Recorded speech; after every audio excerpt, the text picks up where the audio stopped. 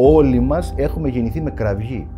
Όλοι μας. Είμαστε παιδιά της κραυγής. Όλοι. Που σημαίνει ότι υπάρχει ένα τεράστιο αίτημα μέσα μας. Είμαστε διψασμένοι με αίτημα, γεννημένοι με αίτημα. Κραυγή. Δεν γεννηθήκαμε με χαμόγελα.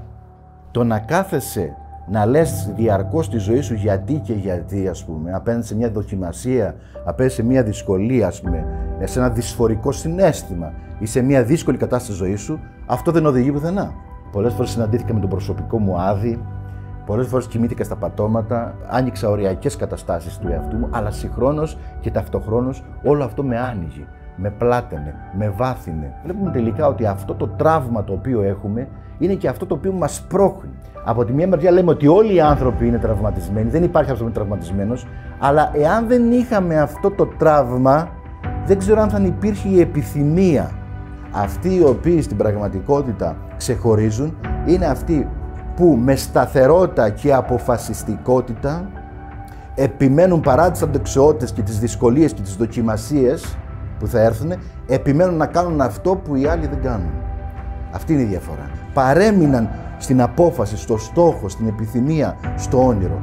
Και αυτό έφερε αποτέλεσμα. Ψάξτο, επέμενε, μη φεύγεις, εκεί, μείνε. Η ψυχή σου είναι έτοιμη για αλλαγές. Ο νους σου δεν είναι έτοιμος. Η ψυχή σου είναι έτοιμη και ελκύει τα γεγονότα. Και εσύ δεν μπορεί να καταλάβεις γιατί σου συμβαίνουν αυτά. Σου συμβαίνουν διότι ήρθε η ώρα, έφτασε η στιγμή να πας παρακάτω, να προχωρήσεις και να εξελιχθείς. Κανείς άνθρωπος στην κοινωνία δεν θα ζητήσει την τελειότητά σου.